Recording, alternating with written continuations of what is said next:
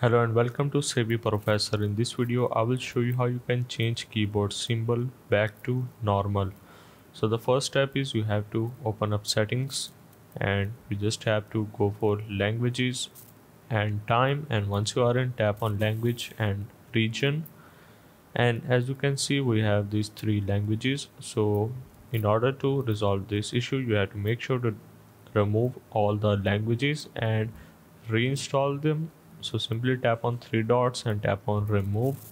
And once you have removed this tap on add a language. And now you can search your particular language and simply install it. Now the next step is we have to update the driver of your keyboard. So simply search for device manager and go for it. And once you are in you have to go for the keyboard which is right here and right click and tap on update driver. Tap on search automatically for driver and if there is any kind of driver available you have to simply make sure to install it. So that was the process of how you can fix keyboard symbols back to normal